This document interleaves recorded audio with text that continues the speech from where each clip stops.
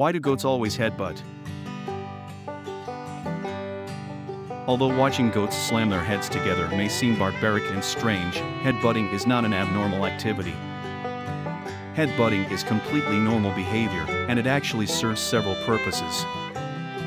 Headbutting is the basic means through which young goats learn to defend themselves and their herd from external predators. Older goats participate in this activity to establish dominance and determine their position in the herd. If a predator is lurking nearby, the goats can become overstressed and release their tension with headbutting. They have the advantage of their skulls being able to take on the resistance of an armored car, which makes them prevail over their rivals, instilling confidence. Their skulls are more adaptable to impact than most other animals, making them a formidable weapon.